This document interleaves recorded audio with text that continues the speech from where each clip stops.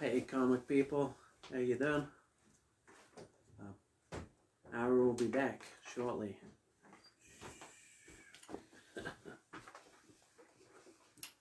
Como está? Hey guys, uh, Malphunkson here with Rico, um, discussing comics again.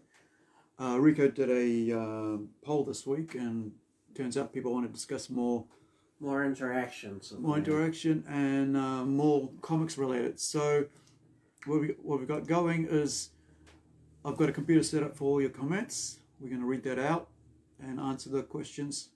Um, and on that poll, you had something else. Yeah, so we've um planning on doing some prize packs. So I've got everyone's names down behind me, and then the idea is we're gonna pick out five and then pull them off, call them out on here. I'll also kind of put you up on the feed so you know who you are, and you just let me know your address and things, and we'll get you sorted out with some comics. Excellent. And thanks for letting us know what you're looking for. Yeah, I mean, it helps us us um, get um, get organised and what to talk about and stuff, and um, yeah, what to discuss. I particularly enjoyed the cosplay babes, and I look forward to being able to get there. I mean, it might have to be pictures initially, but if we can get someone behind us or in the middle here, all for it. Cosplay babes.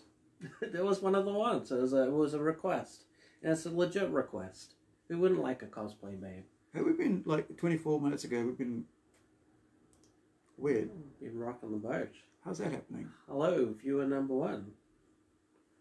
Hopefully you did a um, comment on the poll because uh, yeah, Yeah. We'll, we'll start drawing soon. I'm just going to share across the. So yeah, so I'm gonna have the comments open for whatever yeah what you guys um want to talk about um discuss with us, and let's hit it.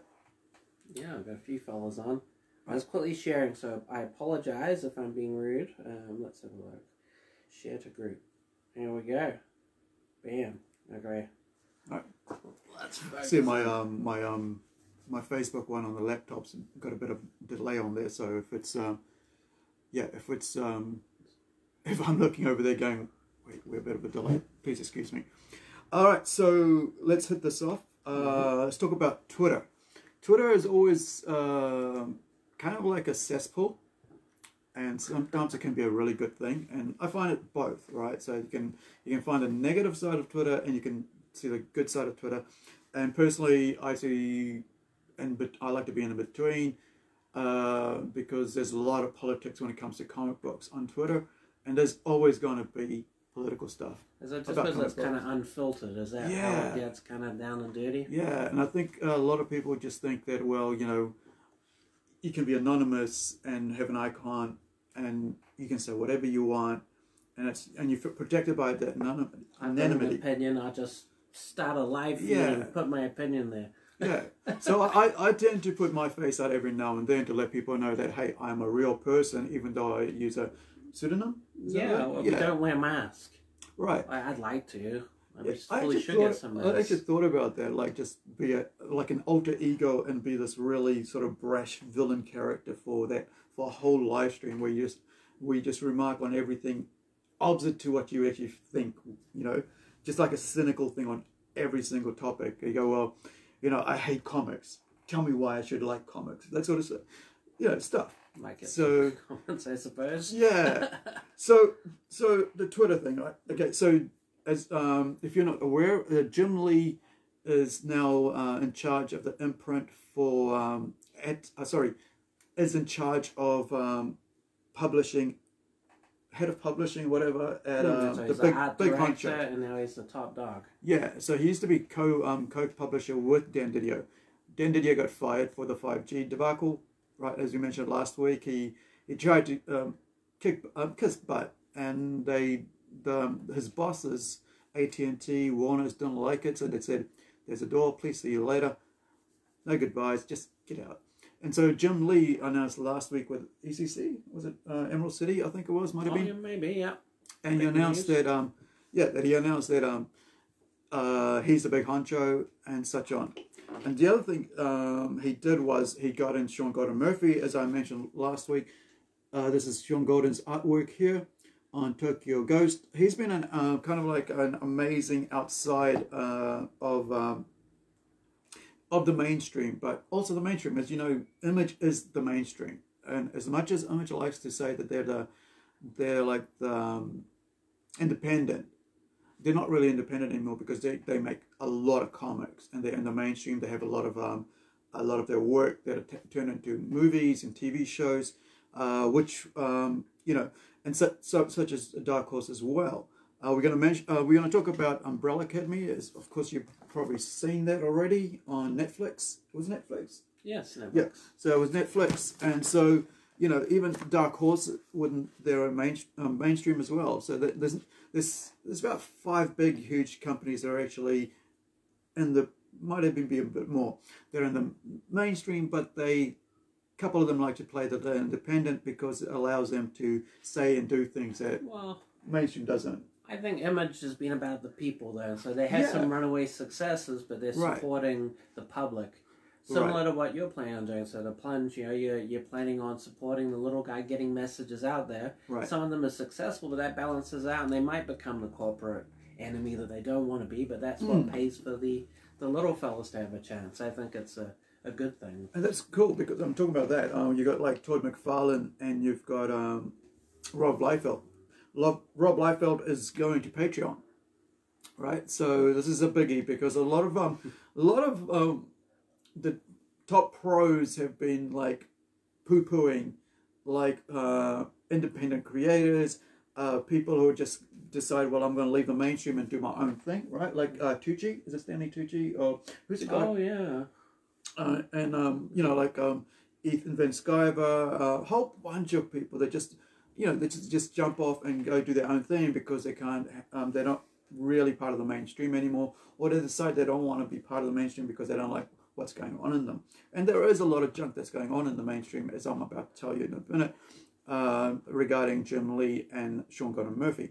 Um, now, with Rob Liefeld, with him going to, um, he announced it yesterday, or might have been early this morning in our time, but of course um, late last night their time, I guess, um, that he's going to Patreon and he's going to teach people how and what he does when it comes to writing comics. So he's going to be basically running sort of like a comic school on Patreon.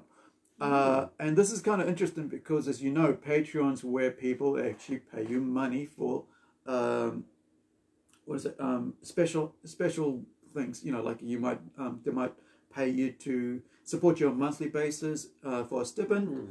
or um, or they might pay you for an art piece that you That want to do. interesting. It is a good thing. Yeah, and um, I mean, I tried that last year a couple of times uh, when I was doing the radio show. I found that I couldn't keep up to it, and because there's so many different um, services, website services like Patreon, Mhm. like YouTube, um, and you've got another. Um, there's um, of course there's Deviant Art has been around for what 15 years, Yeah, a long I mean, time. They're different Yeah. kind of platforms. Yeah. Like Patreon. Like uh, the thing is, it's like you you kind of t- you need someone to help fuel your passion to create, Mm, mm. or your talent, or help educate you. Like I don't understand why a successful dude who's made millions would need to be on Patreon. That's it, and that's just the weird thing. I thought, like, it's like, what is going on? And what really, for me, what, um, putting on my cynic mask, is that I think that they're realizing that the ship is sinking. Right, the mainstream mainstream things ship um, sinking. They're finding that they're getting attacked by their own friends. And here's what I'm like. This is where I come back to Jim Lee and uh, Sean Gordon, Murphy. Uh, here's one of the covers for the original first cover. I think this might have been the variant for um, for Tokyo Ghost that came out in 2015. I love. I bought two of these covers, one for another person and one for myself. This is the cover B. Uh, cover A was quite interesting, but um, so yeah, so Sean Gordon Murphy got brought in as for White Knight to do Batman and um, Batwoman, Bat uh, Batgirl uh, comics, and uh, you know run the imprint of like uh, like a El- Elseworlds thing. You remember Elseworlds? yeah, yeah, of course. Yeah, Elseworlds such an amazing thing, and of course, uh, Red Sun came out. Have you seen it yet? Yeah, well, I mean, Elseworlds, I, Red Sun was what made me think of it. But. Yeah. What If is always, I, I guess I've just been a Marvel guy when Mm. I was younger. What If was my Elseworlds, and that was all I needed. Yeah, I love that when I was growing up. I mean, like in my teens, growing up, and it's like freaking two decades ago, right? Um, and so, um, but so the whole idea is for him to do a sort of like a more mature take on that, I guess. But as soon as he was announced, um, one person who was quite jealous, it seems, basically started attacking him over his um, you know, even before he came to DC, this is the weird thing. It's like this is like his past, and this is like he only you know a couple months ago he uh, he was approached by another person to say, hey, look, can you do a variant cover? And here's the thing, it's a it's a freelance job, paid for thing. So I go, hey, do me a cover, and I'll you know, and you'll get money for that cover. Cool, done deal. He he gets uh, gets to go work for Jim Lee uh, um for you know for DC, and next thing you know, he gets told, oh dude, you you you know uh, you're supporting someone who did this. It's like, you know, rather than saying, hey, it's a piece of work that I did for someone, Mm. and this is what happens a lot of times. Like you could do anything for anybody. What if somebody buys your work and you don't even know who they are, but they bought your work? So what you're gonna do now? You're gonna retro, retro, uh, retrospectively go in and say, no, give my artwork back Yeah, and I mean, back. you don't really have the choice of choosing Yeah. who your buyer is or who's Yeah. Who's hiring you. I'm sure a lot of scumbags hire people All the Uh, time. yeah, I'm Yeah. I'm sure a a lot of them do. And I mean, I guess it's, it's not your right to police that. Yeah, and I think that's that's kind of a weird thing. So basically, he had to go. Well, I'm going to apologize. Going to take that off. It's not going to happen. And so these guys were friends. So he threw his friend under the bus. Now, once he did that, next thing another name got pulled. A female's name got pulled. What about this person? You're going to work with for on I think it was for Batwoman. Uh, no, sorry, Batgirl. So he's going to do the artwork. Uh, cover or artwork for a miniseries for this other female who's working at DC Comics. Oh, but now she's a bad person as well. So the bus doesn't stop. Once you start getting on the, you know, the train doesn't stop. right? Crazy train. Yeah, once you get on the crazy train, Ozzy Osbourne, it doesn't stop, right? All aboard because it just keeps rolling on. Hey guys, um, let me just check if we've got any comments. Well, we got a couple more people up.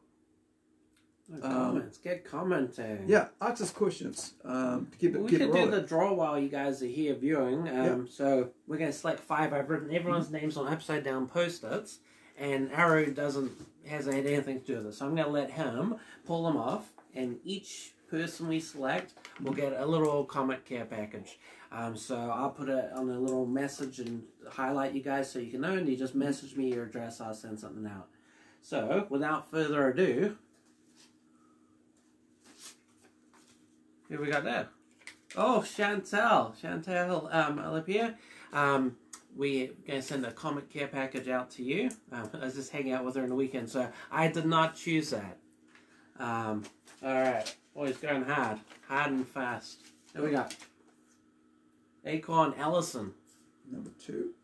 Thank you um, for commenting and taking part in the, the poll and uh, being part of the community. That's all this is really. It's just a Yeah. thank you to you guys who just experience things and put stuff out there. And if you're outside of Whangarei, outside of Northland, don't forget we got uh, we got plunge coming up in July. It's far away, um, so it's not going to be affected by the big C, uh, the current big C. So hopefully it won't be affected. Otherwise, hey, if the situation comes up, we're going to play the game and cancel it or postpone it to another time. No big deal.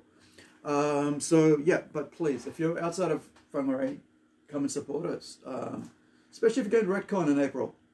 Yeah, well, heaps of most of New Zealand comics and collectibles is in Auckland, to be fair. Yeah, but we're all over the. Yeah, I made this. I screen printed this a long time ago. Cool. Uh, I like the old design. It probably needs a rejig as like self screen printed.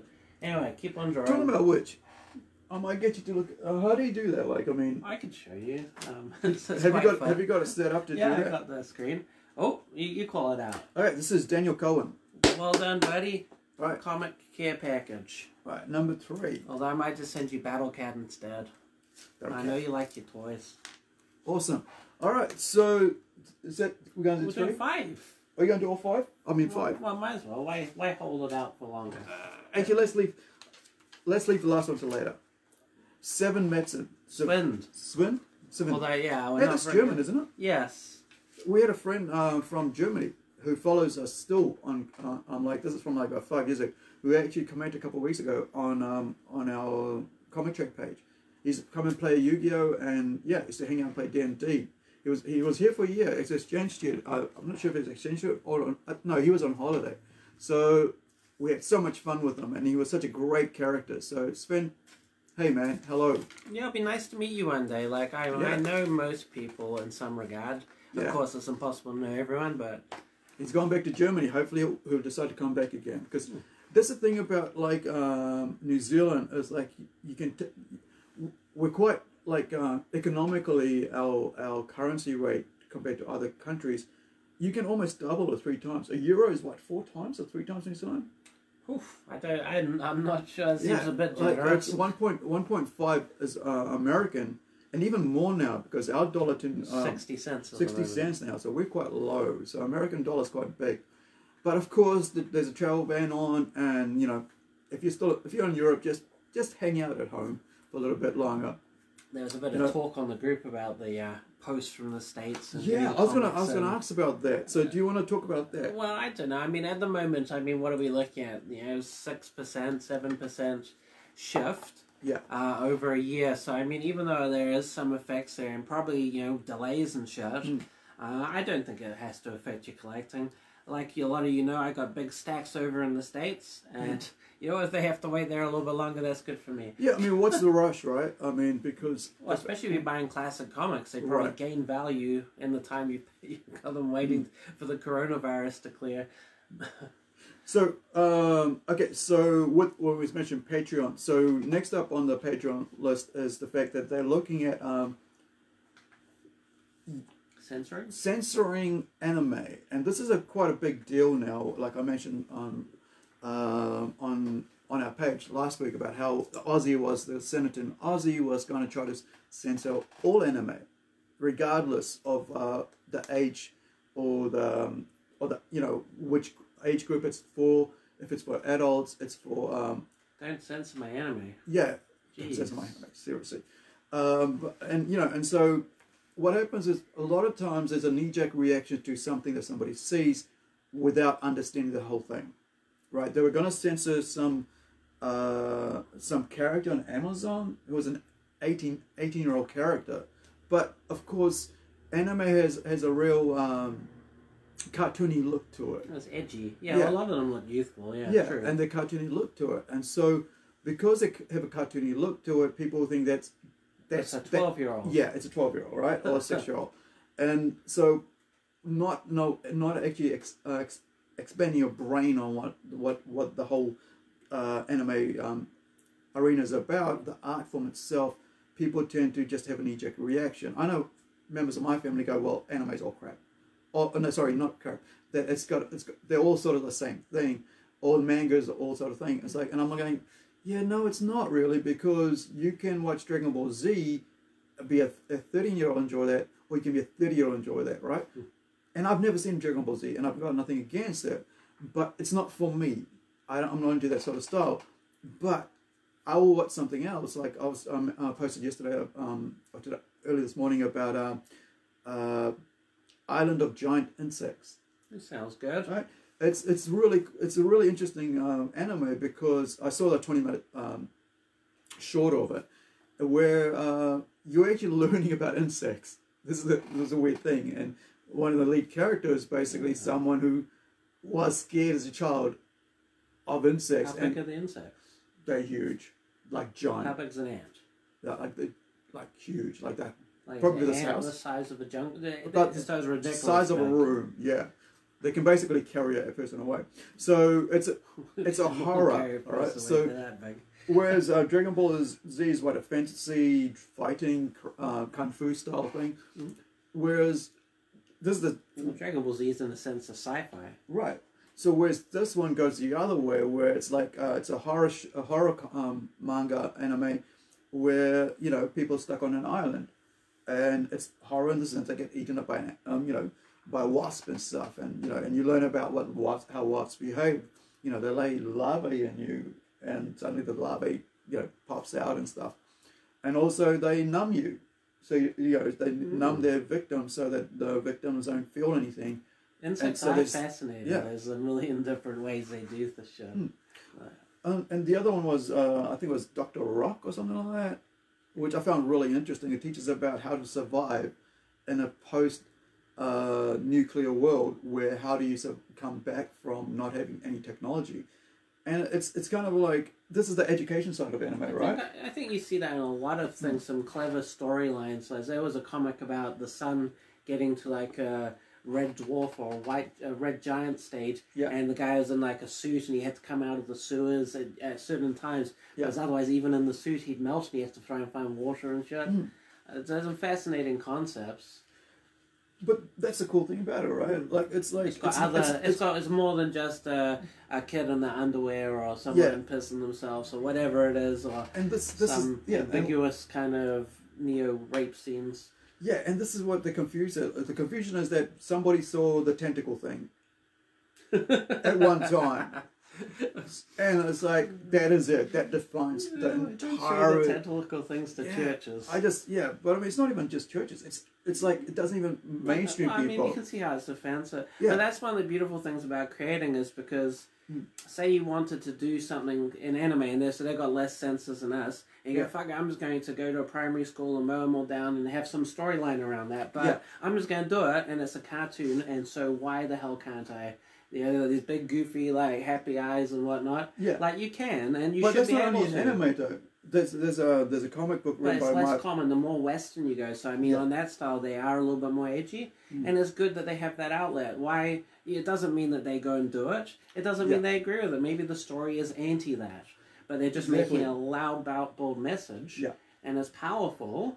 Or it might even be entertaining, but who cares? They're doing it for entertainment. Maybe there's a le- lesson to be learned, but It's an outlet, right? yeah, I, I think it's fully and an I think entertainment outlet, and I think the confusion is that like because it's there, this is what people are thinking, this is what they're going to do, Mm. and that's that's been that's been about music as well. Yeah, comics, music. Yeah, it's it's just like it's uh, like if you're listening to heavy. devil. Yeah, if, yeah, exactly. So if you're if you're listening to heavy metal, you're you're devil worship and you're going to Mm. murder people, and and or if you're hip hop, you're just going to mow people down and stuff. And it's just it's been the people use have used art for so many um, censoring things. So they always start small, and um, you know they'll start with like say, oh well, because it's this thing, and they will start with that slowly. And next thing you know, you're living in a grey world with no art. And that's what that's, that's what communism really is for me. It's interesting, but It's in a control, sense, right? I think that world it's got its positives too. It'd be, I I feel that kind of world would be safe. Mm. Like you know, if you kind of try and steer away from it, it's a very negative message, and we don't agree Yeah. with this, and we don't want that. I mean, I don't want to live in that world, but Yeah. it does feel to me like I mean, it could be a safe be like machines, and right? yeah, in a sense, Like uh, like soulless machines and nothing. it kind of stifles your your freedom to think, but not everyone needs that. And I mean, as Mm. far as lifestyle, I don't think it would be t- again an interesting kind of story motif. Yeah. like uh, And this is the joy of being um, being creators. Uh, it's like you, you're able to bring color into other people's life and being um, entertain people. And talking about entertainment, James Bond, right? So they were talking about how James Bond is going to be delayed because of coronavirus, but they did testings on the first um, first edits of the film, and it was crap. maybe the film's the coronavirus. Yeah, possible. Steer clear. yeah, well, that's where they're getting to. So, so basically, um, um, Daniel Craig came out and basically said it's about Trump, it's about Brexit, and it's like, so you showed it to people, and people went, "This isn't James Bond," and we're not going to watch it. So they had to go do reshoots, but then they used the coronavirus as an excuse. So the first ones to use the excuse of that Ah, so it's like, uh, well, let's go back to the drawing boards because it was a flop. exactly. What's so I mean, and this and this is what happens with a lot of times with films. It's like you, they always try and be too political. Right. At the moment, it's all about politics and movies, and they, then they complain about why it's failing as well. As they they answer their own question. Well, we've been political, and nobody wants to work political because if the world is full of politics, and we want to go be entertained, right? You know something funny though is like if they made an action movie like The Expendables, but like maybe like Last Action Hero or even The Terminator, and they put the tr- Trump in it Yeah. just for pure comedy, Yeah. millions of people would go watch it, even Yeah. though they hate him. Yeah, they, they'd love comedy it. is- like if he was yeah. throwing out one-liners and mowing down Yeah. like terrorists and stuff. I'd go and watch it. That's and the thing I- about it wouldn't comedy, be political. isn't I'd. I'd purely enjoy it. Yeah, And, it could it could be trying to take itself seriously even. Yeah. that would be crack up. And I mean, comedy is basically what we need right now because I think there's a lot of um, soulless things happening in the world right now that um, you know because everybody's trying to be political in their message, but we're not seeing enough comedy, right? We're not seeing enough uh, funny films come out, and this is if you look at the last twelve months, there hasn't been anything funny really. Sonic was funny. Sonic Sonic was um, Jim, So- Jim Carrey delivered. Yeah, it, it, that's the only one that sticks out, right? Yeah, and I, I'm I'm trying really hard to reflect back. There's been good stuff on Netflix and stuff, Yeah. so I mean, there's some kind of, but It's it quite a lot should of stick in. It should stick in It your should. head. You should be able to go. Yes, this is There's Chappelle clever comedy. stuff. Like often they try and put in some modern messages, Mm. and they're not terrible. They've written good stories around them, especially on Netflix and streaming. Like, Yeah. but I should have more things popping to mind. Yeah. I got the Good Place. Good Place was really good. Yeah, Good Place was really good, and then they the last season sucked. Uh, but if, I I mean, I, I, just I, what, what show can keep on? You know, the momentum. At least it moved around. but, but it was like it was suddenly they they just like jackknifed into something else or t-boned into something else. They were like, I was I was telling people to watch it. I was telling my family members to watch it, and they really enjoyed it. And then came season three, and I was like, I wish I hadn't told you, but at least you got to enjoy the first two seasons because season three sucked. It's a bit of like um, um, why I stopped watching uh, Big Bang Theory. Right? It it got to a point where it was like they never grew up. Like They did that. I, I didn't like it for the opposite reason. I Yeah. felt they grew up too much, and I was like, I'll come back to like season one, please. yeah.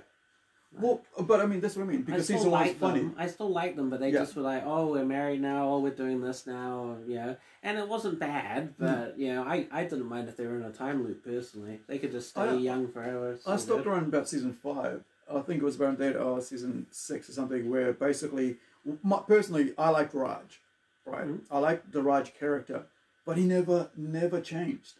And um, He got his voice, and he could talk to women. yeah, but it was like he, his his accent never changed. He kept playing the whole friggin' off fre- fresh off the boat thing, and I don't like that. That's a little bit racist. yeah, but I mean, yeah, but the thing is that over time, people's characters change, their um, their accents change. They get off the whole waving your head around, you know, the the actual stereotypical characters. Oh, I don't know, but in a comedy, you kind of got to play your your trope a bit more, you know. Like if you're the goofy for guy 10 who's a plumber and is like a Yeah. bit Gumby Kramer. Like if Kramer suddenly stopped being Kramer, although he probably could have, Yeah, like you'd be like, oh my god, But why is he not shoving his head through the door and ooh? like it's true, right? it is true. But I, I just found it like it just became to a point where it was like, uh, come on, dude. But anyway, On so a positive, how about Dragon Prince on Netflix? haven't seen I recommended it to a friend. Like at first, I looked at it in like the What's it animated Yeah, what's um, about? 3D movie Yeah. about um like rival kingdoms kind of thing, and they're they're hating the dragons and fairy folk um, and elves. Really cool. Like I, Yeah. I watched it a while ago, and season two came out probably months and months ago. Mm. But I when it came out, I jumped right on it and got into it. Beginning to end of that show was great. It's got some untied loose ends, so Yeah. potentially it'll be another season. But it had a real imperative kind of finish as So well. this is Dragon Prince. Yeah, Dragon Prince, amazing, amazing show on Okay. Netflix. Um, I recommend it to my mate Tamer, and he's not a big streamer, and apparently he binge watched it, which Mm. is high praise. Okay. Oh, talking about Netflix. So we're, we're talking about um, Umbrella Academy. This was actually given to me as a gift. Yeah, Yeah, I was quite. Uh, you know, one of my friends, Ayla, she's um, she's the head writer on our Sunspot magazine, um, and she does she does all our uh, main interviews with people, and also we've got uh, um, Don who's over in the US, as I mentioned. He does our American interviews uh, with the creators there, but um, Ayla basically went out and um, I just gave her a couple of names of friends I knew and and um, and our you know and our net- network friends like cosplayers like um, Verena who's a translator for um, 40k Warhammer 40k. Yeah. and so she's back. I'm excited. I haven't caught up with her again, but um, you know about how her translation work goes and her as a as an as a female nerd in that industry where there's you know a lot of um, there's not many um, and she's a um, what is it called Ed, um, novelist um, no translator for Amer- uh, you um English to German. So uh, 40k man, how much do you know about 40k? I know lots of wow, quite a bit about Well, 40k. go for it. Give us a big thing. Give us a bit spiel. Well, I used Sure. to like play the old war games and stuff, so Space Marines, Orcs, all that kind of good stuff. Um, there's some heavy literature, so like if you're a fan, you're not necessarily into the lore. Like you can enjoy bits of the lore, like this guy fought this guy and this is a hero, and you know, there's got some cool characters. Like a lot of it's very visual, but then there's a whole another side of it that's the lore and the stories and the histories, the legends. And that's more what these novels are about.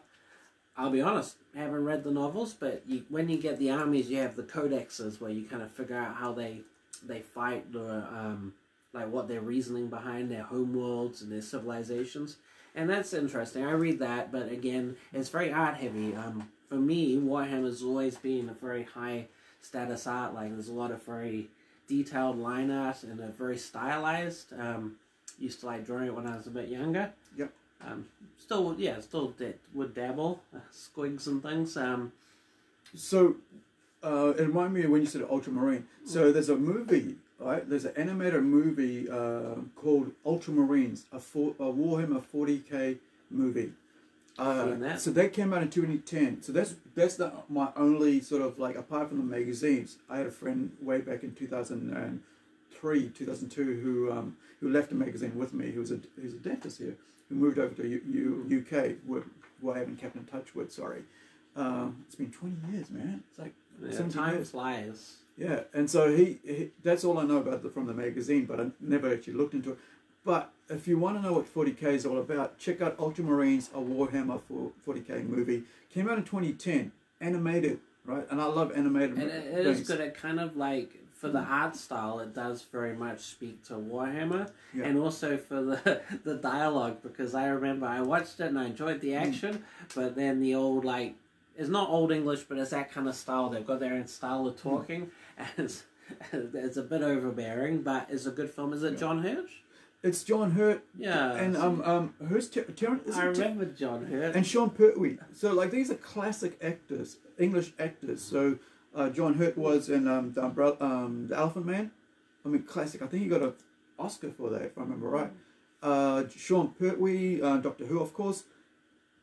Terrence Stamp. And now, if I remember Ter- Terrence, excuse me, Terrence Stamp. Superman, right? Wasn't he in Superman? That's Jor-El. Um, let me bring this up. that wasn't at Russell Crowe. Um, Oh yeah, he looks like a badass. Yeah. So let me see. Wanted. Was he? He's he, had a bit of he was. superhero Yeah, action. he's been in um. Electro. A stick. So Interesting choice what to we, stick. yeah, what we're talking about, uh, Elektra, one of the first uh, sup- female superhero big movies. That you were really disappointed with. I was didn't- Elektra. I was okay with it. I liked her in Daredevil, but then the Elektra was like, eh. Like, was they had all those villains. They had the Tattoo Man and things, or what I think was the Hmm. Tattoo Man, but they didn't really use them. They introduced them all at the end, and it's like they had some cool powers and stuff, Yeah. but they lasted for five seconds, and it's like, why? Why did they bother? That's to be it. honest, So yeah, so back to um, Terrence Stamp. He was in, he was General General Zod. Hey Gray, how's it going, bud? hey brother, Uh, sorry, can't wave to you. Um, okay, let's. We're gonna get to um, with Todd McFarlane. We're going on the list. I'll get to him in a second. my man. Uh, so, so Terrence Stamp, he was General Zod, right? Most memorable like that I can think of. He's been in so many things, but General General Zod in uh, He was the original. Nineteen, yeah, the original. oh, he was good in that. 1917 The old hairy Hey. chest, he was badass. Yeah. So 1978. I I was only five years old. Yeah. So he's been around for a long time and he's done a lot of amazing um, work. Mm. Old um, Terrence Stamp. Uh, Alien Nation. I was going to talk about Alien Nation today. Alien Nation. Well, let me just note that down so I don't forget. But um, because um, I'm familiar with it, but not quite. oh, it's just such a um, awesome t- old TV show from the 80s. and Mind it's worth watching. Um, let me just get back up here. So, what else was he good in? Well, there's, a, there's bit of action. there. So yeah, uh, Wanted TV show again. Oh, the Yes Man. He was like the main guy who made Jim Carrey say yes all the time. All right. So and he he played Terrence. I guess he played himself in that. He was in Adjustment Bureau, and that's a Philip K. Dick. Well, he's quite a creepy looking dude, to be fair. Yeah. It was, yeah, he's definitely kept himself busy. Typecast. That's the thing. Like that's a cool thing. And like this is the thing about actually about um, actors. They get typecast, right? And uh, and they bring with them that same character into everything they do because that's what they're asked to do. Just come and do Well, sometimes that's a blessing, though. I mean, they make like archetypes. So Yeah. a certain villain always kind of has that kind of creepy, whatever mannerism they had or way of saying something. Yeah. as is made for some cool, cool characters. He was also in Smallville, the TV series, as Jor-El, and that's what um, that's Thing's father, isn't it? Elektra and. Ghost Rider are cousins in love. one day we might get a good one. So he's still acting. The guy's still acting after all this time. Uh, Terrence Stamp, He's not dead yet. 1938. Talking about dead people. Have Uh, you seen some? I know there was um, someone just passed away. I can't remember this week. I think 200,000 people passed away. No, no, no. There was an actor who passed away who's been in a lot of Just body bits and stuff. um, Just no, I shouldn't Yeah. joke about no. I hope everyone's healthy and well in the comic community Yeah, of New just- Zealand. Unfortunately, Humour. our umbrella can't go over the world, but um, Yeah. stay safe. and We're look, not touching today to uh, in kind of coherent. No, I always wash my hands. I don't know why people all of a sudden go into this whole oh we got to wash your hands. It's like you always got to wash your hands. it's a good idea. Always wash your hands. It's like don't don't handle your junk and not wash your hands. Seriously, public toilets are the worst places. People, restaurants. Why? Why do people go into toilet uh, public places and not wash um, bathrooms and not wash their hands when they come out for decades? I just it just creeps me out. It's like, please, why are you just walking out without washing your hands? This is like everybody's been in here. Um, Unless anyway. you're really drunk, and then it's okay. You know, Even you're- as long then- as you as long as you remember to zip up and put her away, Yeah. you, you get it home safe. It's a job well done. All right. So the writer for the 40k, getting back to the 40k thing, is Dan Abnett. Dan Abnett is uh, has been writing for um, 2000 AD for a while, and he's been he's a yeah he's been doing that for a long time. He also um, worked on Guardians of the Galaxy. Um, Yeah. let me just get that on here. Yeah, he was a writer on Guardians of the Galaxy one and two. He also did uh, Aliens Isolation. He's a comic book writer, but also as That's you know, game. Um, Alien Isolation, the game. mm, It was like a movie at the start. Kind of had the Yeah. one alien. and um, yeah, so he's, he's done a lot of work in the game industry for, um, as you mentioned, with um, let me see. So Guardians of the Galaxy were based on the books that he's he'd been writing uh, at the time for Marvel. Um, also, Thor Ragnarok. uh, thanks. You got thanks for Thor Ragnarok, and I guess it's because it's the um, character design. Some of the yeah, characters we're using some of the bits. Yeah. Okay, so Todd McFarlane. Let's get to Todd McFarlane while we're here. Okay, Todd let me just bring it. Yeah. I So he is a stand-up guy. all right, so Todd because the way he built details into the Hulk monsterness through. Where are we? Let me just get that. Not sure why I'm not getting the rest of that. I know the Spawn movie. Like we were like, he's telling me that he's stuffing up his deals, but I hope it gets out. Yeah. So So yeah, so great bit. So the way he built details into the um, Hulk monsterness through the Hulk 30, 345, That's when brilliant, He went all gnarly. b- brilliant way that I developed. Spawn movie coming to you now. Yeah, no, I I kind of think it's never going to happen this year. Spawn though. Yeah. Yeah, Spawn's not going to happen this year. He, remember last week I was talking about how he wanted to direct, and he that's one of his things. He wants to direct. The problem with that is Jamie Foxx pulled out. Oh Right, his main character pulled out this week. damn. Okay, that's the big news. Now, when you lose your main uh, Oscar-winning character, uh, nominated character, how much did Jamie Foxx win an Oscar?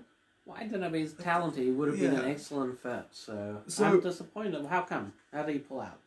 I guess he had uh, other contracts It took too long to Yeah. come together, maybe.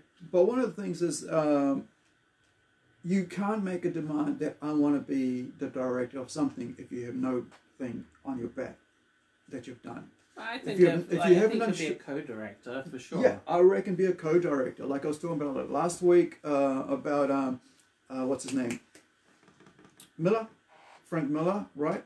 Uh, he watched um Rodriguez uh, work on Sin City, the first one, hung out with them, learned the skills, then went into the second one.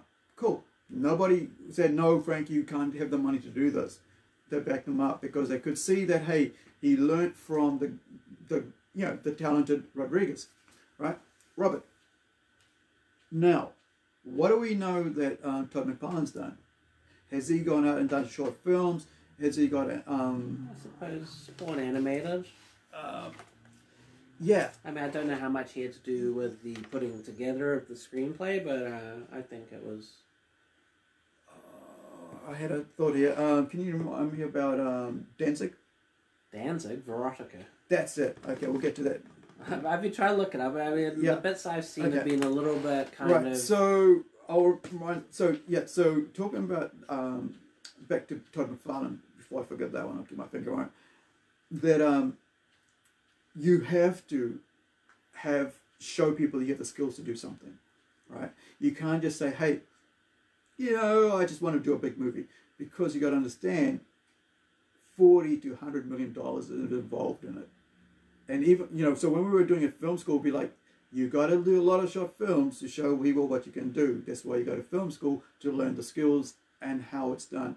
See, I, I went from like being a stage director, doing short films, to writing and all that stuff, um, to then going to film school to learn how to do that, how to write stories, how to structure stories, how to do all that stuff, and then say, well, now I know how to write stories, and people can trust you to do stories, right? Then you go, well, now you've got the skills, so yeah, you worked at it, and so on. But when you have a hundred million dollars, Yeah, but I mean, like for an It's- artist, you've got to yeah. take the money out of it. It's the the money isn't about the product or what you're putting out or your your message or vision. It's very little to do with money as an artist generally. yeah, it, it but like, I you- mean, Todd McFarlane became a great artist from wanting to be a sports star and having an injury, right? and then just passionately following that. And he had no experience beforehand, and I he was fully understand. So, I but mean, the problem with Hollywood is that they, could strike twice. yeah, but the problem was then they'll say, "Hey, Todd, put up forty million dollars then," and but he's he's like, "I want all your money." Right? He's like, "I'll, uh, you know, he's, he, maybe he's going, yeah, I will I, put th- him I think it was Michael Jai White. Yeah, but Michael Jai was amazing, I and he's still know the end around. name, but I know he's, He's a still Michael Jai. around. Yeah, Michael Jai White is still around, and he could He'd still, still be good. do- yeah, but be he'd be good. more gnarly. Yeah, and he's been and he's his his talent skills have gone so much further now than what he was at there. But this is the problem they have is the money problem, and and uh, and they don't want to as much as I, I want to see Spawn do it. I think he he should basically go and do a co-directorship with someone else. Don't start saying this is what I want, this is what I I want. I think that's how he originally was putting it forward, though. Mm. Like, because he was going to go with Blumhouse. Michael Bloom Yeah. was his guy, Yeah, and he was going to work very closely with him. Yeah. And he was, they were, I think they had a good relationship, and they were Yeah. ready to go.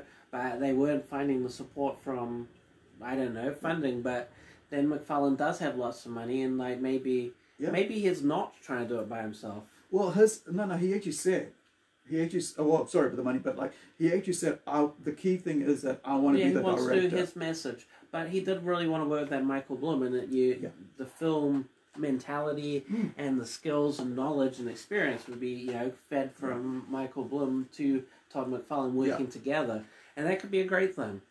And partnerships are good. I mean, the thing is that, but he, yes, Michael Jai. think- White was Spawn on the film. yeah, and He he's was good. yeah, he's still around. So yeah, put him back in. Uh, but the problem is that uh, they want to. They always want like now they want they want to tie in, and it's always been the same thing. That the main lead is what the whole film is structured around, because then they can bank on that on that lead. Mm. That's why we Well, still it's have hard to focus on teen movies, you know, where you can share the spotlight. Some Yeah. people do it really well, but there's a lot of skill man. of getting like Yeah. many characters working together. Expendables did that really well. You had all the top actors, uh, action heroes coming together to do one thing, and they're up to what random. episode? I mean, like they did three movies. Um, so yeah, that works. So let me talk about Dan Danzig with Verotica. Verotica. Right. Verotica, bring it on. Yeesh. Uh, so the movie came out uh, as a anthology of Verotica. Um, Verotica. Verotica. Uh, is it the name of the whole thing? Uh, well, they've got different characters, and then Verotica is one bit of it. Right. So um, I can't remember what what his um, Well, it's meant to be really edgy and, you know, nudity and violence and stuff. I've Mhm. watched the trailer, and I didn't get. I, I mean, if I did get a taste of the violence and whatnot, it was just. It, it felt like a bit. What's the word? Uh, you know, like. a bit budget. There's. Ah. Um, oh, it's Glenn Danzig. Why do I keep saying Dan Danzig? Glenn Danzig. But Okay, so- it, it's meant to be budget. So I mean, maybe it does pick up. So I was trying to watch it. There was- feel. So he basically um, directed a lot of it, and I think he would have learned a lot from it. This is what I'm talking about, like with Todd McFarlane. So he, there was a whole lot of um, short um, vignette uh, uh, films uh, involved in this whole um, setup. Let me just grab this up here on IMDb uh, of what they're doing. Uh, where are we? Director, latest. Right, Verotica. So it's just been released, came out last year, but so the movie of this the title is uh, Verotica. Uh, right, so this is uh, Glenn Danzig's directorial debut. It's an horror anthology that compiles stories from Glenn Danzig's line of Oh, comic like the books of the same name. Yeah, yeah, I could get into that. Yeah. I mean, that, that's a kind of hit and miss. You know, they have a Mm. few gems and a few. So maybe that's what I was. You know, like you could Yeah. just be seeing one part of it. So, so he basically directed and wrote the whole thing. Now, the writing's okay, but some of, um, from what I've seen, some of the uh, directing is not good, and it's it looks very um, low budget, That's, that's what I saw. and it, it seems very very low budget, and um, and I think It didn't show much of the uh, CGI stuff. Because if they step that I up, don't think that they did could, that CGI. could, that could redeem it, but or even the prop Yeah. kind of things or prosthetics. Because I imagine they're in there. Oh It yeah, it's mo- it it's mostly prosthetics. It didn't show much of it in those trailers. Yeah, I don't. Uh, as much as I um great, as much as I like um he's saying that Midsummer guy for the Spawn director, take it into a disrupted, unexpected space. Moments spoken. The actors in uh, Verotica all spent weeks learning French accents. They're all American. Why? Yeah. That's So- true. Yeah, it could have been a classy uh, overseas international Yeah. film. I I think it may, mainly this is that doesn't make sense though. Wait, why would they? You're It right. to Why make would- the scantily clad girls look sexier. A French accent, it would it works well. But but the were the characters in Verotica based in France? to be honest, I mean, again, It's been a long time I, since I read it. I just remember seeing some like pretty intense scenes and the. Mm. The other thing was that I noticed, like, yeah, with the prosthetics, they're really not well done. that's And, it. I think uh, that's uh, It's, Mm. it's, it's, and and going back to Todd McFarlane, right? There's going to be a lot of money and CGI built into what they're going to do with this movie, so that has to be taken into account. And, or else you're going to have something like, uh, and Spawn's a classic movie, right? For its time, it's a classic R18 movie. yeah, well, it was an edgy thing. It just I think it had a lot of expectations behind it, Mm. and that's why it didn't fare so well. Because it wasn't a bad movie, but it had such a, a big impact Mm. that you know when you look back, you're like, oh, it fully could have been better. The animation. And was, the good thing is, yeah, Todd McFarlane acknowledges that. Yeah. I mean, the animated series, perfect example. Yeah. Like, if he just converted what that was into a feature film or part of that, it would have been better. Simple. The other thing is, if he's failing at trying to get the movie off the ground, go to Netflix and do a TV series, uh, animated series, yeah, right? we should, yeah. Um, you're talking about which uh, Castlevania came out last week. I enjoyed that. Yep, I haven't watched the last two episodes, but But your anime feel made me think of it because Yeah. I want the vampire chicks. Yeah. There's a, there's a lot more sex in it, I can tell you that. So. yeah, it's kind of yeah, it's it's they've just sort of kept stepping it up in that sense. Uh, but I, it's kind of fun. It was a weird message I found like this time around. It's, like they were trying to be political in some of the things like toilet paper. Toilet paper. There was toilet paper was mentioned quite a lot in it. If you if you watch it, it was like uh, one of the characters. Oh, yes, what the hell is toilet paper? And the other guy goes, you know, it's something that happens, you know, something that they use in China. It's like, it's it's kind of yeah. It was maybe the time it was uh, ADR it was before all this happened with Corona, but it was kind of funny to You're right. It was kind of Yeah. timely. It was. Yeah. It wasn't there several times. I felt like it was a historic lesson, like It showing was. you how old it is, and I oh, it was in China or Right. the Middle East. It was. um. oh, not the Middle East. I forgot what was the other um anim- Oh yeah. So uh, there is a altered carbon animation coming out. Yeah. So I'm quite excited about that. It's going to come out on in a couple of days. 16th this it's weekend. kind of fun. The the amount of stuff Yeah. that comes out. All we can do is just go. There's this coming next. Yeah. and, and it looks like something's happening. There's constantly new stuff that's comic related or you know Mm. exciting. Oh, it's a great thing. It had um, Verotica had a nice um, lighting, and they should um. I think the Higher the lighting had like quite purple light. hmm. But that's the, that's the tone of Verotica, isn't it? Like it's yeah, got well, it had it's got like, like sort of like purplish, black grey um, whole imagery going through the entire. I um, think it series. probably should have been darker Mm. from what I saw, is because the, the cheapness was there. Like and the lighting, the lighting could hi- hide that a little bit. You Yeah, know? well, and effects, backlight a little bit, effects. some some theatrical lighting, and it probably did have it. So I mean, I've got to watch it. So Yeah. I mean, great. Other than lighting, like, have you watched it? What's what's it like? You know, that that probably is my question. Because I'd watch it for sure. I was excited. Uh, just from what I saw, I was uh, underwhelmed. But maybe it's so hardcore they can only show the real tame Mm. like scenes that don't really show much action or excitement, um, which is possible. I think, um, I mean, there is also this huge demand for, because of Hollywood blockbusters, right? Every movie has to now make 500 million plus. And, um, and so the producers are basically going, well, you know, to get your Spawn movie off the ground, sorry for hanging out on Spawn for so long, but um, off the ground, we got to make sure that we meet our targets. And that has got to be looming over his head and his producers. And Blumhouse is going to be the producers, right? Um, so yeah, it's it's weird, like um, where Hollywood is right now. Talking about where Hollywood is right now, coronavirus. A lot of movies are, are going to be delayed.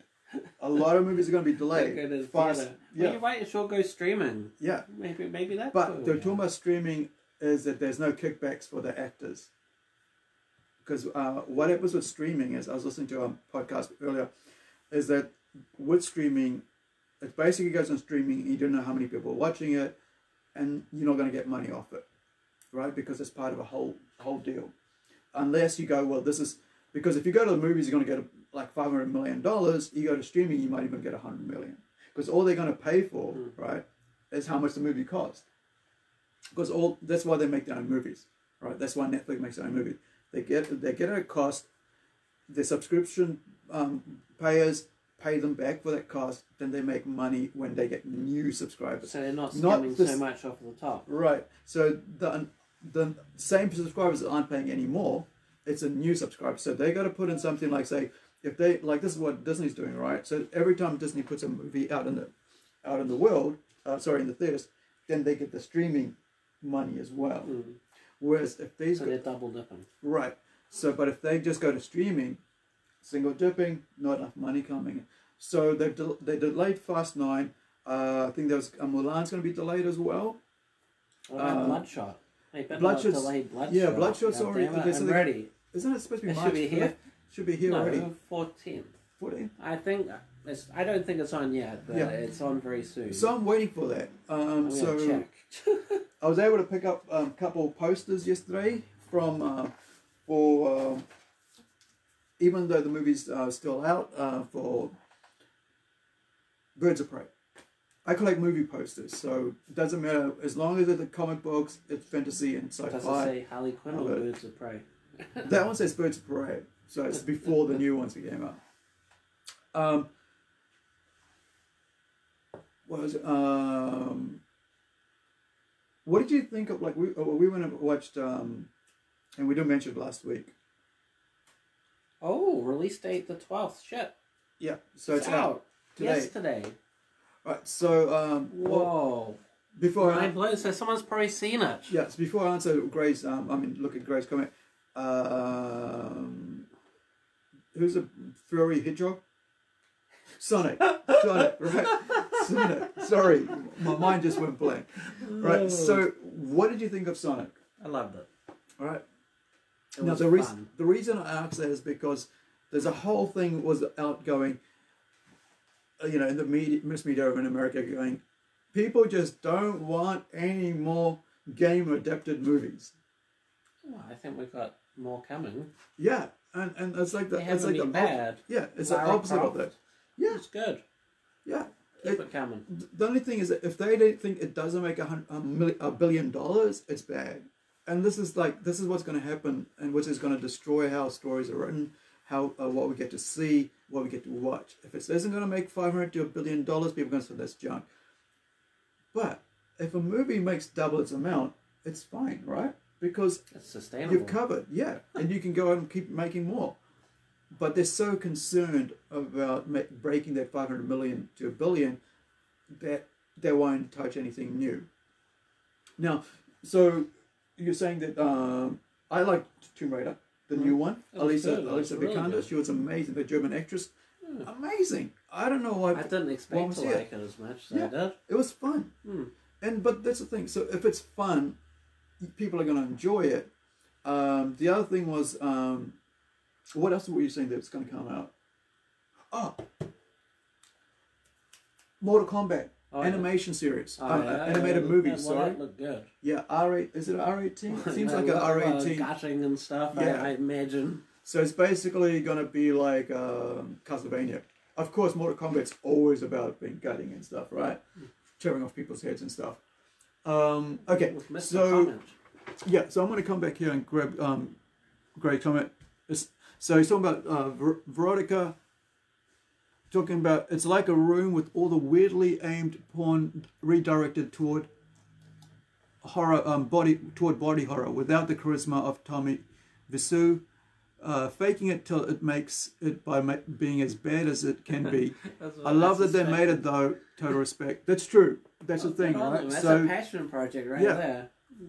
And good on them. um, yeah, uh, Barry Duffield is putting up a massive collection of posters. By the way, it is a collection to behold. Oh, sweet! Is that on like on the on the group, man? there's a there's a lot of goodies out there. Yeah. Um, there. I I would, if anything, I want a Constantine poster. I lost mine. My original poster from the movie, which I got when when it Oh. came out in two thousand five. I lost it between moving, and it's my, as you know, Constantine is one of my favorite characters, top three, and it might even be number two after Batman. even Keanu. Even Keanu, I, I I don't mind Keanu in it. I just wish he had gone blonde. That's that's the only thing I wanted Keanu to do, and that was to go blonde, and he didn't go blonde. But of course, he's got black locks, and I had to go overlook that. But uh, yeah, I just I was gutted. It's been what fifteen years in between moving, uh, separation, whatever, houses, uh, flats. I lost my poster. and I Send couldn't this find guy anywhere. Keanu Reeves poster, please. Yeah, the movie poster. Constantine. So, so the Mortal Kombat, like um, the gaming. Did you play that? Because you're a gamer, right? Oh yeah, I play Mortal Kombat. So I remember the f- last time that I can think of playing Mortal Kombat was in Pioneer, which was back in 80, Eighty. 88. Was that Mortal Kombat two? Yeah, it was on the arcades. So we over in Pioneer, they had, um, oh, it's on his page, Barry Duffield's page. Okay. Um, so yeah, we were we hitchhiked to Pi here and being the weekends there, and I'm not a great gamer, and I suck at it worse than anybody. Even a child could play beat me at anything. So, um, but that's when I remember playing Mortal Kombat, like with the big arcade machines, you know, twenty cents to play forever. I remember saving up for a Super Nintendo to get it. Was it on there? Yeah, I think so. Okay. Like I, I saved up for a console. I remember that, and it was like my first time saving up a couple hundred dollars for a console. Oh, was the anime? Um, I can't remember what the But it's name. on Sega as well. Okay. I watched the anime um, this this weekend, uh, this past week, and I can't remember what it was called, but they would they must have partnered up with um, who's the creators of um, Ayukin Street Fighter. Street Fighter. So they had like actual Street Fighter in the like they, these characters were playing So a Street. Fighter in it. Yeah. Um. So who Chun Li? Hummingbird kick. Yeah. So and and who's the the Russian? Zangief. Yeah, so there's Zangief and um, Chun Li, Chun Li fighting each other on that. Talking about that, there was a movie with uh, Kristin Kreuk, Kristin Kreuk from the did a Street Fighter movie. Back you in the remember day with Kylie Minogue. No, I think it was. Um, Van it wasn't that far away. Um, Was it animated? this is no, it was a actually uh, feature film. It was It was. it was done. Um, It had Van Damme in it. Yeah, that was the earlier one. So this is They one made with a later Chun Li. one. I think this was the one with the Chun Li one. Real. Um, let me just see. And she was playing Chun Li or something. Let me just find it. It was after. There we go. Street Fighter: The Legend of Chun Li in two thousand nine. Oh wow. So this is uh, this is the movie she did This was a movie. straight after uh, Street Fighter finished. It got released in New Zealand. I'm not. I don't think so. I don't think it made it here. And Did they have all the characters? What? So when a I'm te- gonna watch this. so when a teenager um, Chun Li witnesses a kidnapping of her father by a wealthy crime lord M Bison. Yeah. Wait, what? That's weird. Sounds alright. No, but look at the way it's written. So when a when a teenager Li witnesses a kidnapping of a father by a wealthy crime lord, Thanks, Greg. And Thanks Bison. for joining us. that's full stop. You have a good night, And brother. Bison. Uh, cheers, dude. Thank you. Um, yeah, this will be on here um, afterwards when we finish. You watch the thing. other hour later. Yeah. So, so Oh, um, kilo sale at uh, Jeremy Ackham's tomorrow. yeah, you lucky persons who are who are in Auckland tomorrow, go out and support it. Go shovel a kilo or two of comics. Oh, seriously, and then he was doing like two dollars um something grams. Yeah, it's just when you're getting small amounts once you got your first kg. Yeah. But well worth the look. Definitely twenty bucks per kg of of oh, comics. Ah, I'll be just going drop, drop, drop. Give me another. Okay, so basically, so when she grows up, she goes into a quest for vengeance and becomes a famous crime fighter of the Street Fighter universe. So yeah, so this was in two thousand nine. Uh, Neal McDonough, McDonough. You, you guys probably remember. Michael Clarke people? Duncan was in it as well. Uh, Oh so- yeah, it's um, what's his face from Arrow. Yeah, so yeah, the Betty from Arrow, right? Yeah, I can't remember who he played, but I remember. Uh, Damien Darhk from That's Arrow, that, yeah, right? From uh, and also from DC's Legends of Tomorrow. Um, so yeah, and he's also in Altered Carbon. So yeah, and he was in Sonic the Hedgehog Oh my god, I love the guy even more. Yeah, and Van Helsing. So uh, Neal McDonough, he's been around for years, and of course he's a great actor. He's just that, you know, that, like talking about t- typecasting, right? He's the mean guy all the time. I Uh, reckon he'd make an okay old James Bond. yeah. It's got that look about him. We're talking about James Bond. I wrote, I, they should have just put uh, Daniel Craig after to pastor and brought in Idris Elba. I'm tired of Daniel Craig. He's such a wuss. You up for a change up? Yeah, I just want to get rid of him and bring in someone who's It's, it's interesting. We're so anti with the comics with those those broad changes, but Yeah. then for James Bond, you're like, nah, just don't. no, no. But I mean, he's not. He's such a wussy of a character now. Like he's So he's like the biggest James Bond there's ever been. Mhm. Well, when he was in that first one, he was quite like. in the first bold. one is good. Yeah, well, it's too much for me. I didn't really uh, enjoy it myself. Yeah. But Uh, he, um, also um, Neal McDonough was in um, Captain America. I do think Idris Elba was first- really yeah. good in that. Um, the fat Hobbs and Shaw, the the Fast and Furious. thing. Like, was he had a James Bond kind of badass, kind of Mm, secret agent vibe to him. And so I'm not saying he can't play the role, but I mean, I think again, he And he's kinda English. def- he can kind of define his own character, though. You Yeah. know, Yeah. it doesn't have to be James Bond. It could be the next guy. He could Oh. be James Bond's buddy, and then he could take over the show. That Sure, would be he fun. could be the underling, right? He could be Um, Sean uh, Bean, Sean Bean. because he was like the the James Yes. Bond guy. To, he was awesome in James Bond. Yeah. and he should have taken over. I think. Yeah, I think. Uh, Ned Stark. Yeah, I'm kind of tired of his act, uh, Daniel Craig. It's like he's. It's the only thing he's kind of like recognized for now. I've never been a huge fan. Okay, so did, have you read Dharma Punks? Like last week we were talking about um, what was oh, we were talking about the other one of Sang's book. So this is Dharma Punks. This is a collection of all his um, um, all of his early works, right? Uh, so it's in black and white, but there's like some color co- covers that he's put in there, illustrations. So uh, the Dharma Punks burst on the New Zealand comic scene in 2001. Jeez, 20 years. Oh, Dylan Horrocks. Yeah. Uh, described as a, medica- a med- meditation on life, punk rock, and blowing things up. It became the, one of the best-selling local comic series of all time. You know what? I'm gonna say I didn't read it at the time. No, neither. I was out of comic books, so I. Um, but the cool thing is, Adrian has made a collection of it. Sorry, it's backwards.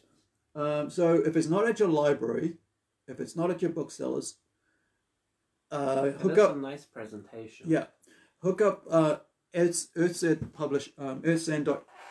Is it like what is it? called? Earthsend Yeah, dot co dot nz, and hit up Adrian Kennard. Kennard or Kennard, I, I've never met him, so Good I'm presuming. and ask them, you know, order a book for him, right? Or even hey, jump on here and uh, get order a copy from me. It's thirty five dollars. Um, and it's really good.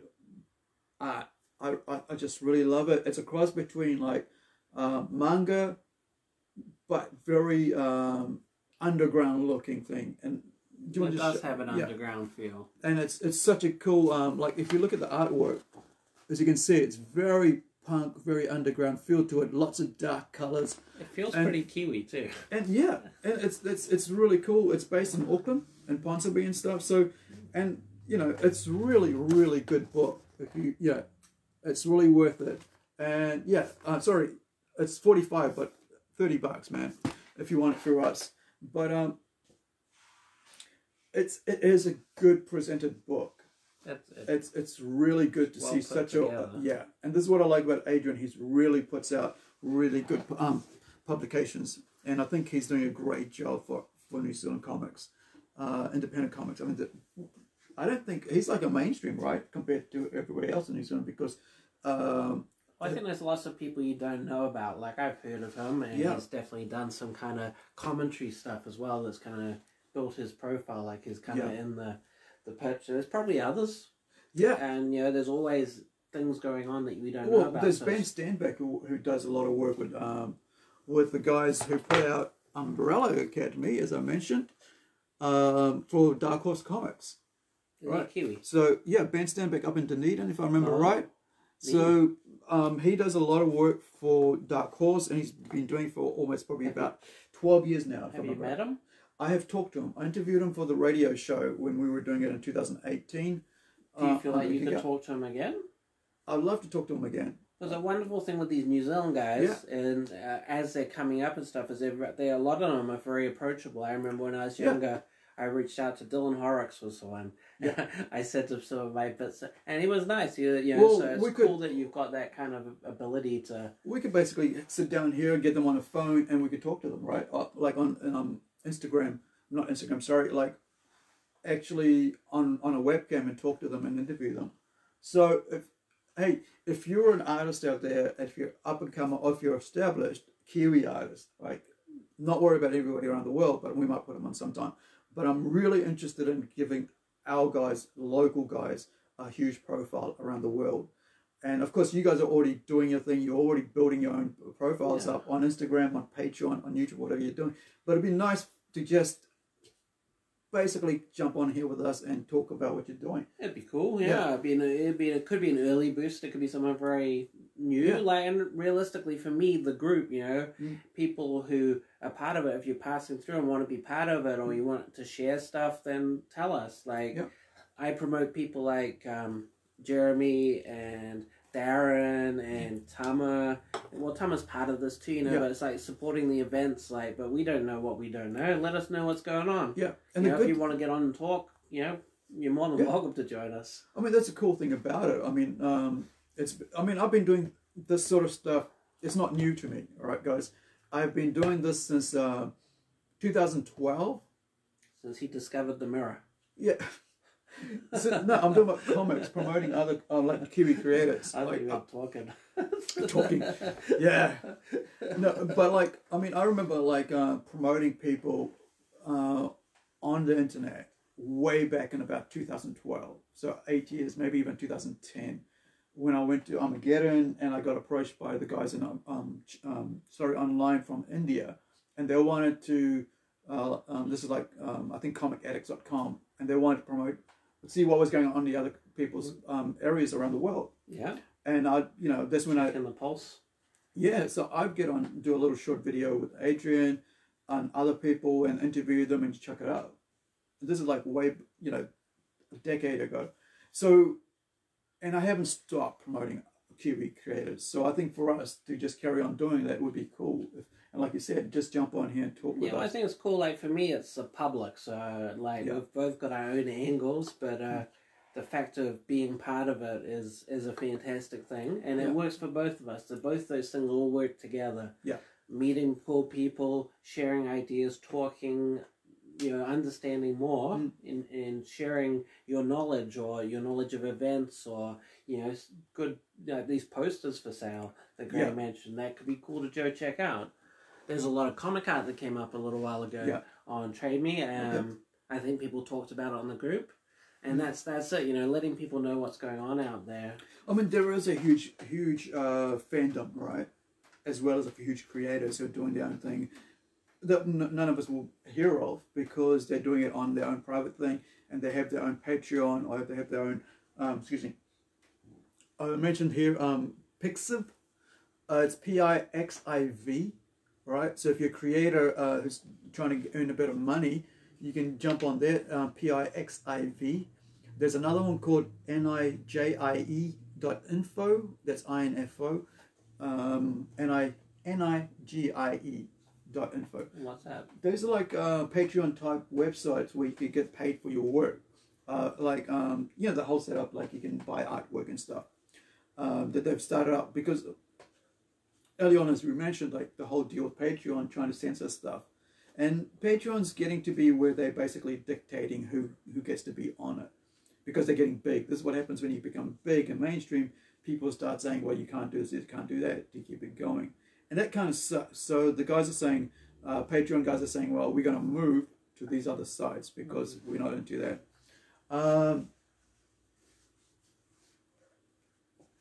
Disneyland Yeah, I've been there. closed down What? because of CV, oh, well, fair enough. right? So Happiest place on earth. Can't be very happy if yeah, everyone's and dying. some people want to say, well, I'm going to ignore that. And this has been on um, on uh, on Twitter. People saying, if I'm going to die, I'm going to die in the heaviest place in the world. So Yeah. I'm going to go against everything. Go do that. It's like okay, well, people, you're allowed to do what you want, but of course, So it's open, but Don't- people aren't going, or it's closed. no, no, it's closed. They've closed Disneyland um, due to that. So as we mentioned earlier, because of coronavirus, um, all the all the big parks are going to be closed. There's a huge breakouts and um, you know people catching them in America, and so as you know, Trump was on there talking about how serious it is now.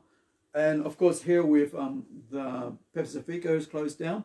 Uh, should have been postponed. They've cancelled it, but should be postponed. Anything like big like that for us, for our community, just postpone it to another time period until everything's settled down. We'll, you know, people first, right? We want to make sure that people That's are protected true. first. Yeah. And the movies, right? This affects the movie industry huge because you people Well, close aren't proximity. right. They're going to be like sitting right here and touching arms and That's stuff. hard though, you know. Like, I mean, it, are we seeing a lot of it firsthand? I mean, yeah, we don't want to, but I haven't seen a bunch of it like near Yeah. me that I'd But once- scared. The thing is, once uh, it you know it moves around, then we'll be getting a bit weirded out. I think for us, our my main concern is like our borders should be closed because Australia, right? They're getting huge breakouts. Um, doctors are catching it there, so it's going to get bigger. So I'm a bit. My concern is protect New Zealanders first, right, and not not be worried about money because you can always make money, but you can't always get a life, right? Once you're gone, true. once you're gone. So put people first and ignore all that. Okay, so yeah, so the birders are getting affected because, like I said, they're too close. Um, and um, people in America are saying, well, we're going to wipe it down all the time, and you know, we're going to make sure we're going to do tests on our on our um, our sorry our workers, make sure that they're, they're healthy. But it's like you got a 14 day period period, right? So how do you know they haven't caught it and it's hidden away? So it's a weird thing, right? So enough of that. Um, let's get to That wasn't very comic-y. yeah, that wasn't very comic So let's get to this thing, Battle Royale. It was good. You got to watch it. I haven't seen it. What? What? What's one of my favorite movies? Talk talk us about uh, Battle Royale. Oh wow. Okay, from the shallow, like not reading into things, it's actually very good because uh, they basically they have a population problem, I believe, or crime problem. Yeah. And so try to get rid of the young people, trying to control them and make them kind of more manageable. And so they randomly select a school, very Hunger Games style, and then they just kind of throw Yeah. it on them, and all of a sudden the military's in there, forcing them to go to war. Yeah. And they don't want to do it straight away, of course. And you know, there's a bit of push and shove there. Pretty brutal. Uh, a lot of fun. I mean, it would be fun to be doing it. And so, I mean, this is an interesting topic because I mean, it's very much a scary, negative Yeah. outlook on things. But I, you know, like if you got the right mindset, it's it's, it's a hell of a lot of fun, and It's they a- had a lot of characters. Yeah. like- It's an R. It's a classroom full of characters, right? So the whole classroom's there, set set there to battle it out. Um, so it's an R-rated movie, horror, violent, full action, uh, action thing. Now you mentioned Hunger Games. This movie is basically as as a as a baby, like as the originator of the whole Hunger Games style movies that came afterwards. Mm. Anything with battle royale, this is where it was it was from and there's been a lot of contestants, uh, contestants, uh, contesting of whether this was where she got the idea from. Uh, what's her name? I can't remember from the Hunger Games.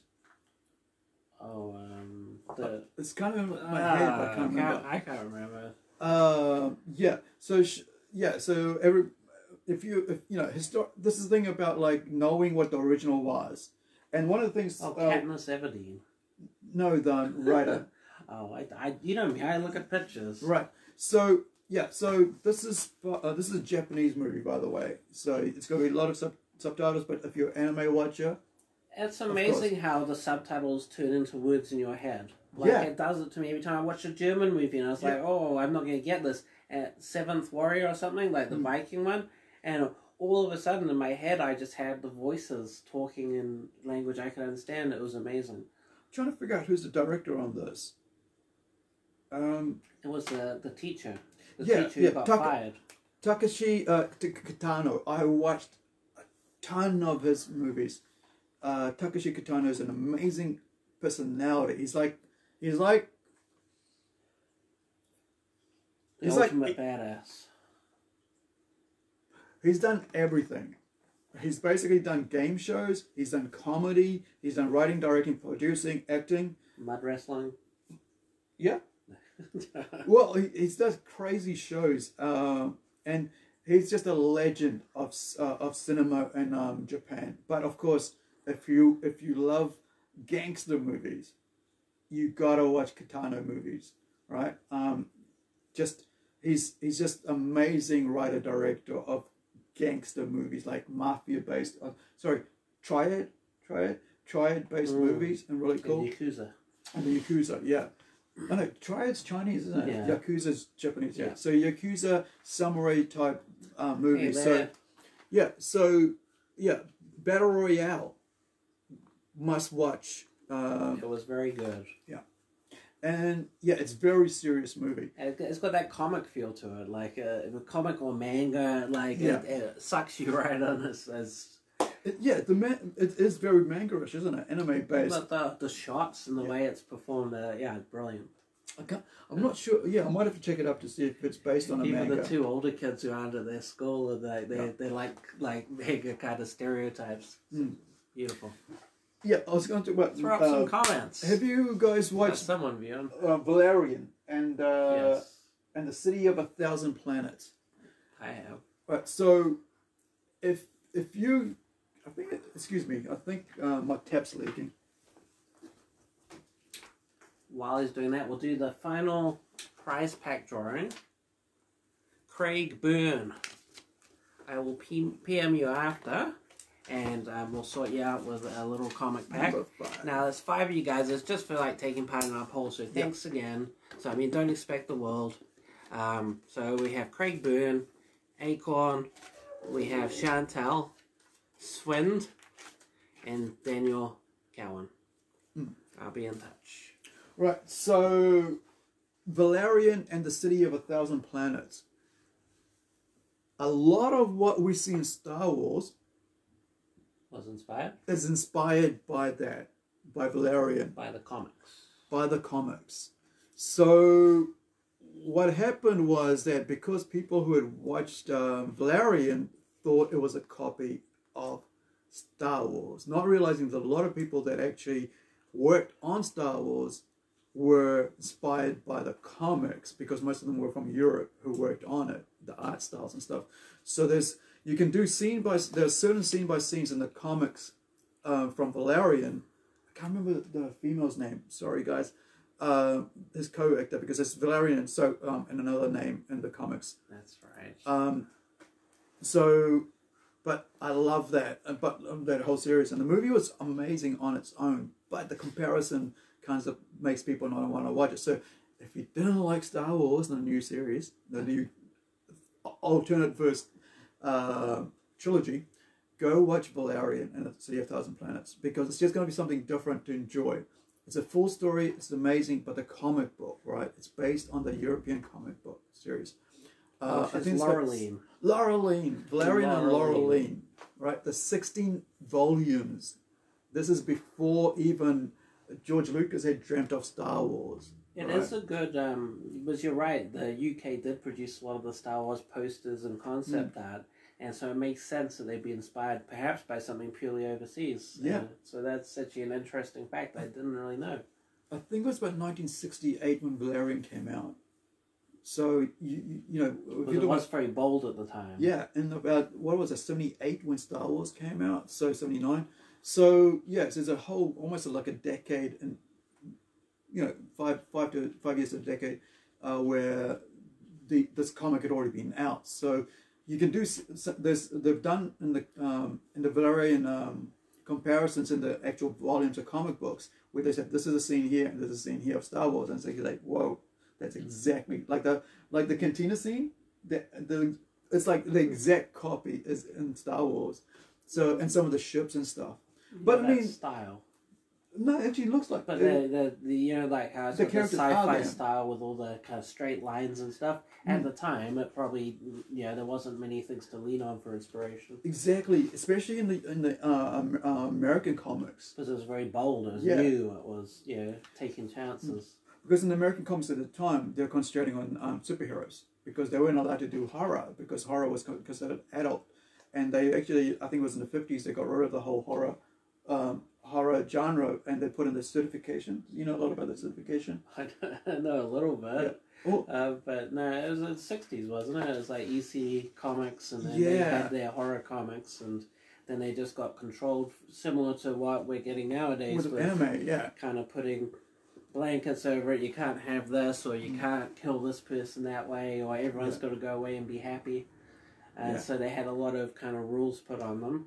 Mm. Again, I know yeah, that I know that it kind of tarnished the stories and made it so like it had to be more. You got used to your heroes always kind of going, yeah, like good job, pal, kind of thing. Yeah, because it was very wholesome. It had to be wholesome. So you saw the whole horror genre die out. You saw the whole sci-fi genre die out in the American comics industry uh, just you know because prior to the 60s it wasn't all about superheroes no. right it was a all over now while the while the um, the european market was doing everything just blanket every all genres us had to decide to stay on the superhero genre and so now we see a lot more stuff like um, you know like umbrella academy like um, tokyo ghost independent creators doing whatever, you know, bringing back Conan. Have you read any of the new Conan books? Still about in the Conan? Savage Avengers, or uh, yeah, they brought them into modern day, didn't they?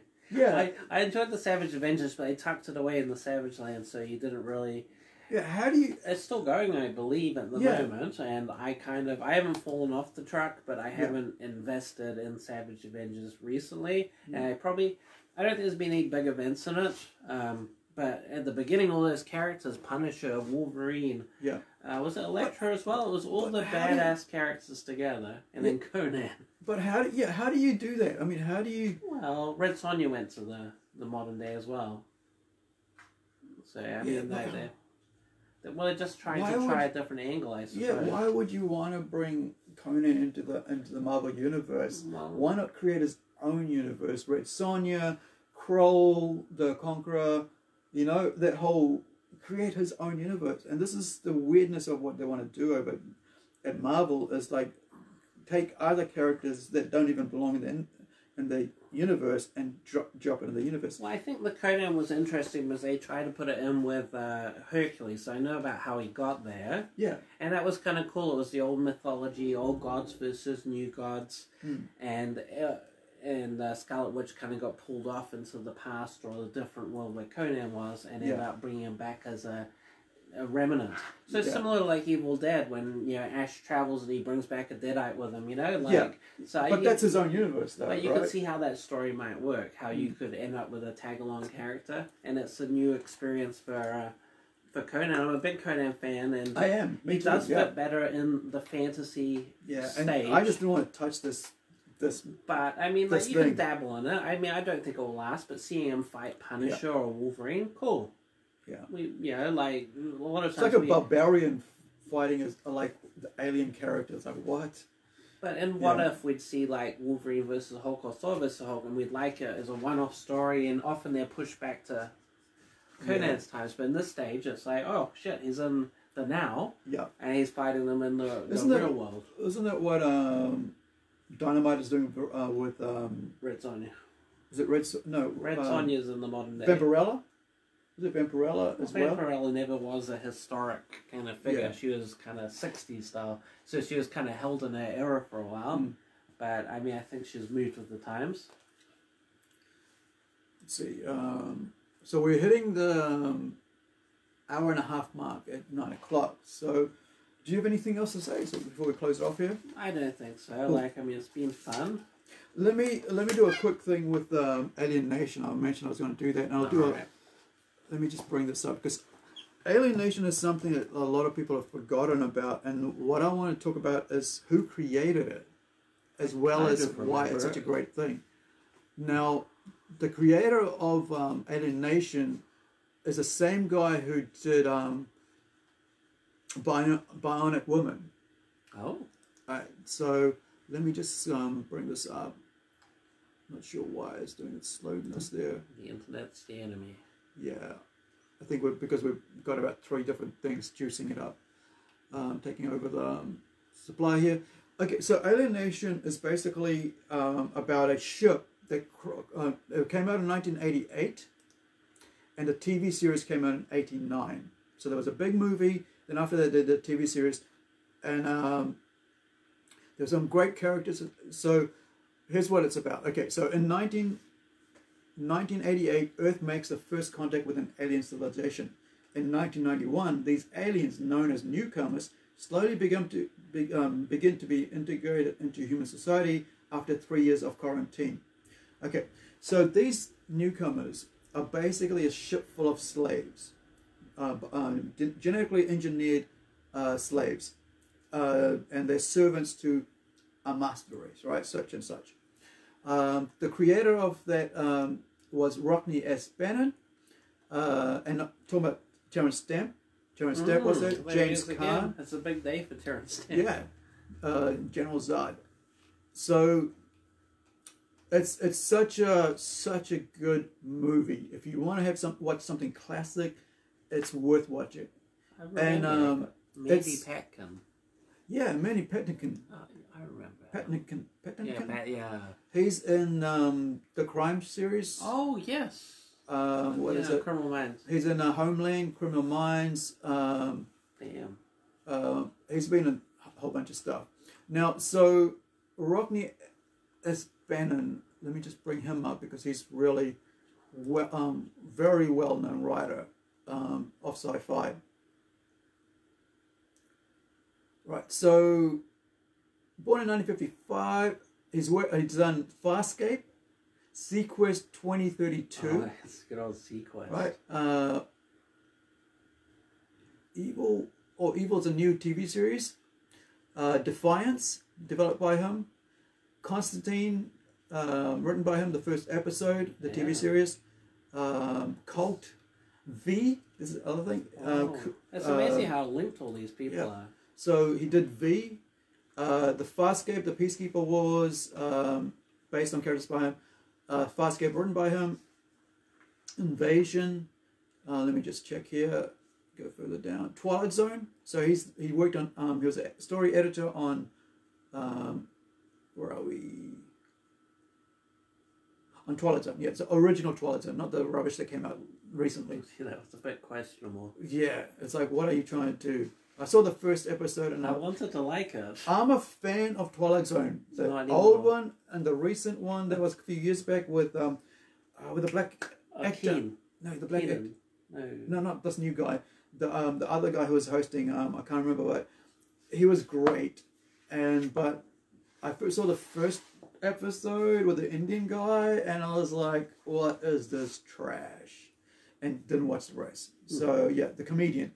And being Indian, I was like, yeah, this be interesting to see what this guy's gonna do, and it was trash. So yeah, I didn't watch the rest of it. But yeah, so seaQuest 2032 was awesome. Did you try that? Did you enjoy it? I, It had some funny Yeah. moments. one of the ones that sticks out is about the gamers. Remember those two, those uh, um, kid and a girl, a guy and a girl who are in different sides of the country, um, city, and they're battling it out in suits. There's this one episode, I and think they, I missed an episode. uh, oh, Mine was my- a giant crocodile. Do you remember that? It had a nest on the island. They found the eggs on this like like uh, Hawaii Slightly. type island. There was big giant eggs. Like, what's this? What's going on? And there was a huge crocodile swimming around that was the size of their submarine. that could be like um, That was pretty crazy. But I always like these giant monsters. But then when you think Yeah. about it, like the giant ants you're talking about, like how do they survive? Like it's kind of like how do they feed Well- on enough? Like it, Well, on, on top, um, um, yeah. So getting back to that one, the island of uh, giant, uh, giant insects. It's about oxygen. Yeah. So she's trying to explain it's about like how they've been, um, you know, you need oxygen to somehow some bacteria. No, it's about bacteria. Sorry, my bad. It's about bacteria and how it affects them, and it's into their. It's um like um Jeez, we got six on. yeah. So Whoa. it's it's Thank you guys yeah. for joining us. So it's I think yeah, she's talking about the bacteria and how it affects insects and insects are surviving and what they have to do to survive so they become smaller over time. But yeah, so Because insects don't have respiratory systems. They breathe through their skin. yeah, so see that's not something new that I've just learned. Didn't even know that. Cool. Then we'll go to you for science stuff. Um, I like insects. yeah, um, I, I think, I think like just being mindful of creatures, you, you become um, more aware of how things work in synergy, right? Um, okay, so yeah, so back to animation. It's got about six TV, uh, like six TV movies, the main movie, and a TV show. Six TV movies. Yeah, I, I watched one movie of it. yeah. It would have been the you could have been the first The one. original, probably. Yeah. Yeah. but it's um it's such a good show. So yeah, But they had a shanty town, didn't they? yeah. So they're basically it's like they live in a ghetto. Uh, they they die because of salt. Salt can kill them, like totally meltdown. No fries. Yeah, and uh, what is it? There's something they eat that gets them high. So it's like a drug. Is it sugar that's a drug to them? Maybe that makes sense. Yeah. So it's like salt kills them and sugar's a drug to them. So if you want to watch something good, classic, Alien Nation is your thing. You you'll really enjoy it, and you can't go wrong with the first movie, James Caan. And the other thing is they take the there's some comedy in it as well, right? So they take names of cities as their names because their language doesn't have names or such because they're slaves. They're just numbers, and so it's a really interesting thing to watch because I think it's um yeah it's it's a good it's a good topical thing. It came out in 1988. What is that like about 22 years ago? No, 32 years ago. Don't maybe do math. Yeah, 32 years ago. So that's worth watching. The other thing, if you watched, um, let me see, Farscape. Did you like Farscape? Yeah, Farscape was good. Yeah. So I mean, It had the Australian chick, didn't it? The Yeah. black yeah. And she was a badass, and she was a baddie, and then she turned good halfway. Exactly. She was Well, great. early on, so Uh, um, I hope that's not a spoiler, but no, she was fantastic in it. But it gave her a really Australian feel. Yeah. Uh, didn't they film in Australia though? I think they must have. They had. I, I remember as an Australian show. Mm. It just had that feel about it. I think the main guy's American, Yeah, I mean, if and he was like that. I gave it a nine, like Yeah, on IMDb, I gave it a nine because I thought it, it just became such a well developed arc. it was of stories. cohesive And from memory. Yeah, and so Rockne S. O'Bannon, the guy who um, for, um, Alien Nation created that, Claudia Black, Now, Claudia Black and Ben Browder were both brought into um,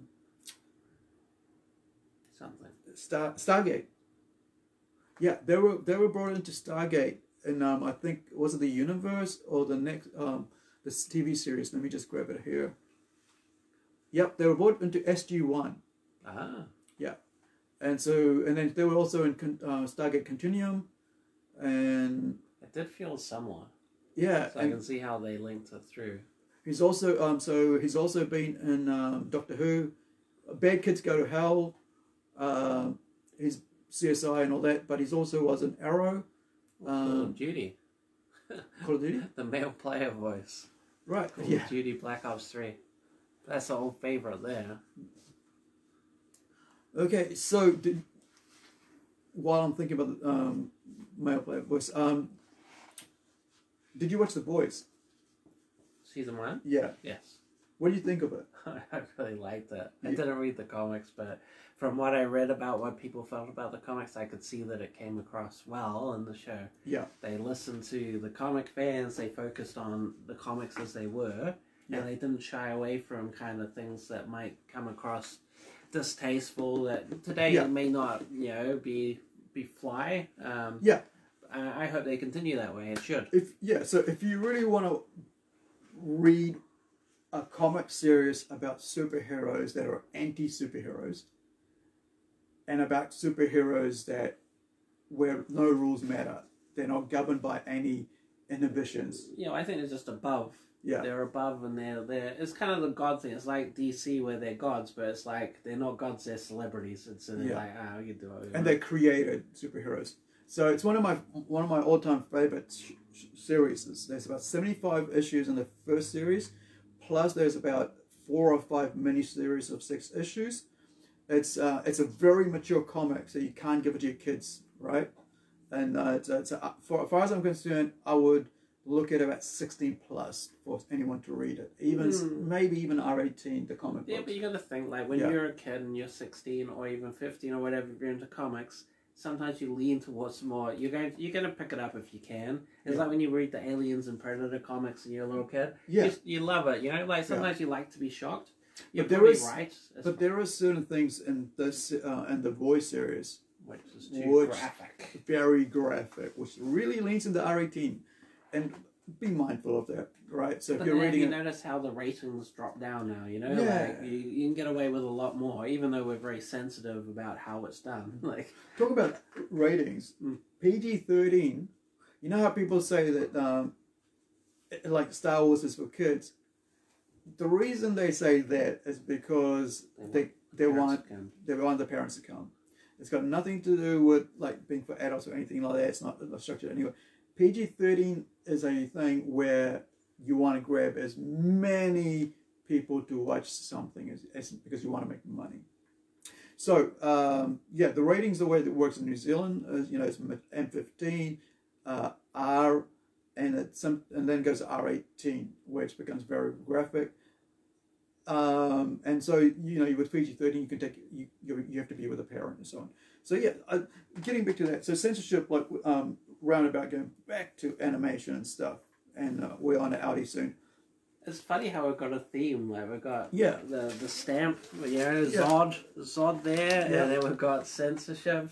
We actually have a theme. It's Right. crazy. So yeah, so the like Patreons basically over the last year or two have slowly been trying to, you know, go mainstream, and which means that all the people that are making the money who were doing like mature adult stuff are finding it hard because they keep change they keep moving the bar right um, and the you know the sand they keep changing the line of the sand and um, and slowly you're going to find that a lot more people are going to leave Patreon and more professionals will go to Patreon. I'd be interested though, but it's like Patreon. It, you've used it. Yeah. But I mean, I I've looked at it, but I mean, how many New Zealanders use it? How many New Zealanders have been successful with Patreon? Like, I, I don't know if it's a thing that really is. Maybe we just need our own thing here because I, I don't see it as a New Zealand thing or something New Zealanders I know I know a on. few I know a few people can They few do, people use it, but, but, they do they do but the- well? is it something Yeah. that is a success? Is Patreon like uh, a source of you know their lifestyle and funding their creativity, I I I have my doubts. I think some people do really well, and some people aren't. And I think um, I found that like I mean, I wasn't doing anything because um, one thing is you gotta you gotta have a name or you gotta have art. You gotta be able to do it every Well, almost I mean. every other day. Scale. Yeah, and, and you got it's like being on YouTube, right? You got to be able to do ev at least two, three videos a day to keep in people's heads that you're here and content. And uh, when I was trying to start this up on YouTube, I was like, I can't really do this every day because I'm busy doing art. I'm busy trying to run a comp, um, you know, run um, plunge. I'm busy trying to keep everybody. Uh, But is Patreon about Aware. like funding your broadcast? But I, to my understanding, yeah, it's Patreon is it's like funding monthly- an individual. Like you don't even have to do videos. I know you have to do. uh, You can do, you can do um, music. I know there's a um, there's a Indian um, metal band called um, Bloodywood. That's Bollywood with the um, with blood in the start. You know Bloodywood, and they do really well. You know they do covers of uh, American uh, you know popular um, music. So that's part of their service. To Yeah, their and they do really well So like they- five thousand dollars a month.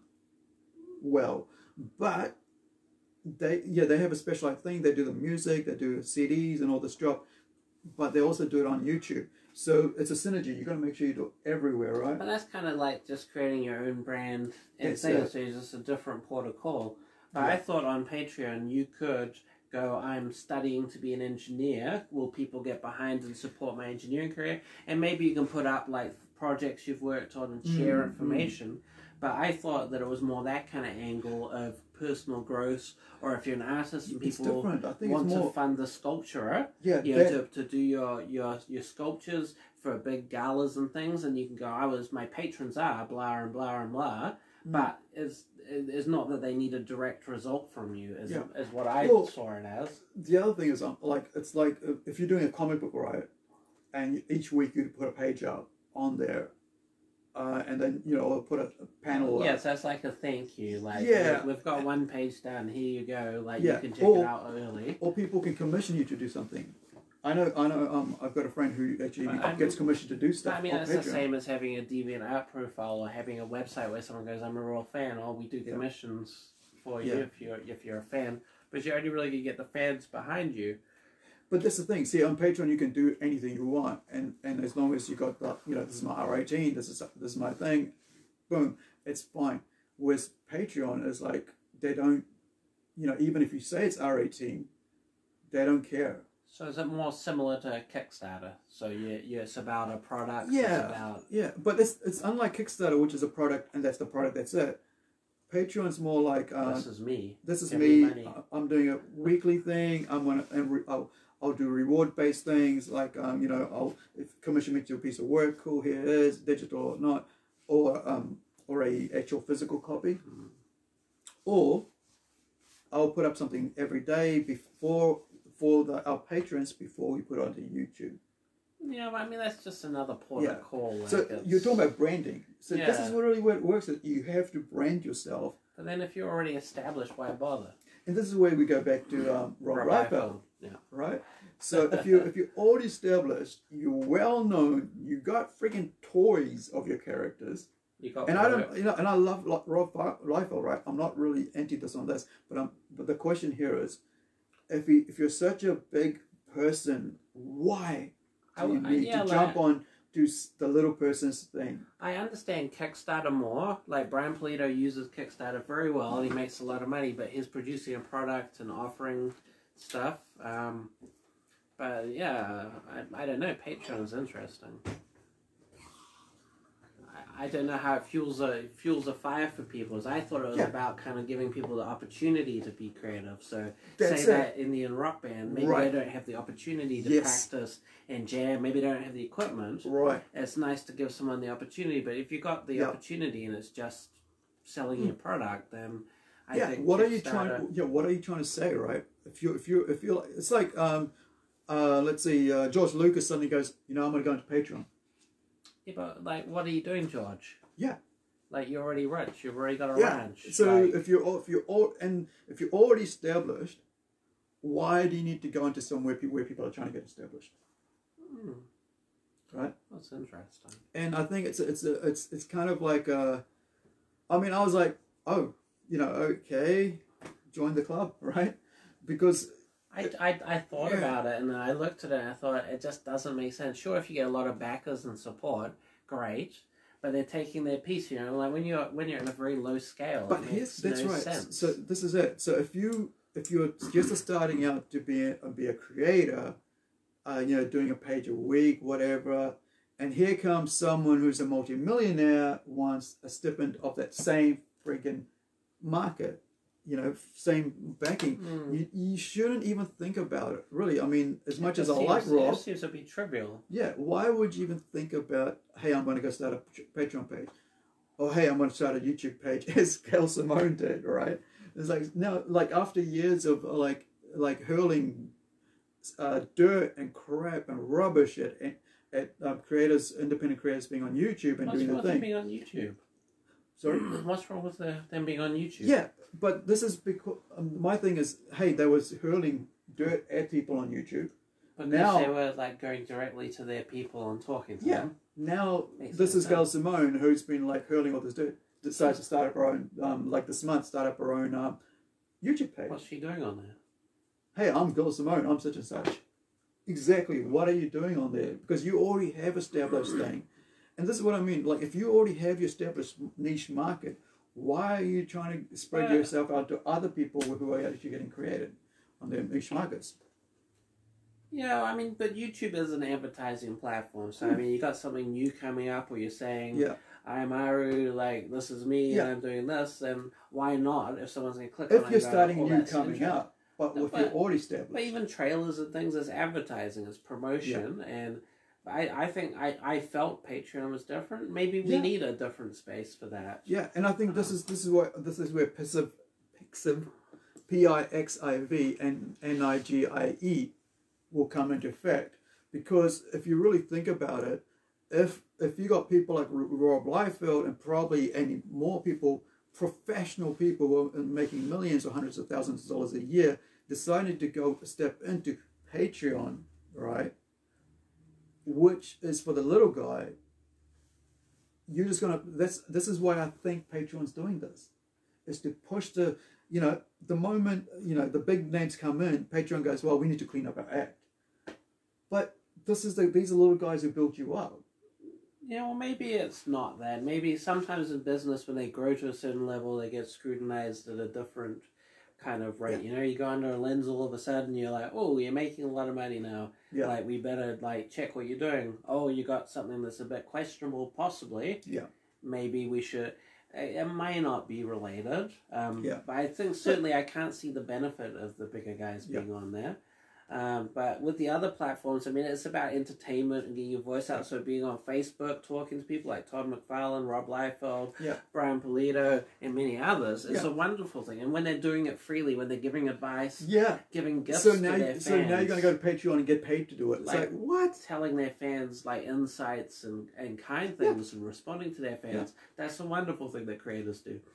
But now even though you're established and you're rich and you're all that, now you want to go to Patreon and make money off I, just don't see Ta- a it's basically taking money out of the inde- independent creators. but why would people But- pay them? Yeah, I, I don't think people will. Because what what else can you tell us that we don't already know about twenty years of your history? I think it's like it's like pissing in the wind.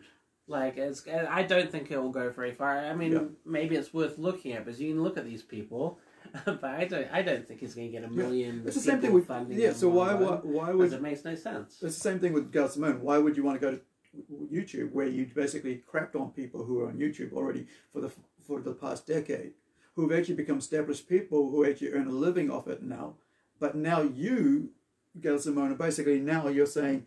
Oh, uh, you know what? I need to be on YouTube now because all those people who I've been crapping on were right.